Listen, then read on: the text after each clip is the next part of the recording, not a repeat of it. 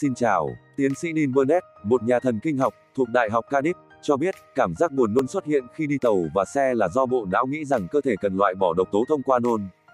Khi bạn ngồi trên một chiếc xe hơi, xe lửa hay máy bay, não cảm nhận cơ thể đang chuyển động nhưng chỉ nhận thấy dấu hiệu chuyển động qua tai, chứ không qua chân tay. Từ đó, các tín hiệu mâu thuẫn xuất hiện trong não. Các tín hiệu này cũng sẽ xuất hiện khi cơ thể bị nhiễm độc. Vì thế, bạn có cảm giác buồn nôn, để đẩy mọi loại độc tố của cơ thể ra.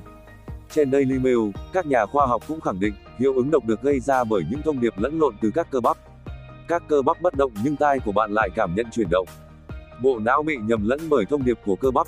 Trong buổi phát biểu trên chương trình phát thanh của Mỹ Fred Air, tiến sĩ Burnett cho hay, cơ thể chưa phát triển kịp để đối phó với những cảm giác khi ở trong xe.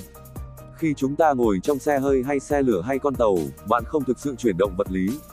Cơ bắp nói chúng tôi không di chuyển, nhưng mắt và tai bạn nói chúng tôi vẫn đang di chuyển. Cả hai đều không có sự chính xác, và trong điều kiện tiến hóa, não chỉ có thể nghĩ đó là nhiễm độc thần kinh nên gây ra say xe, say tàu.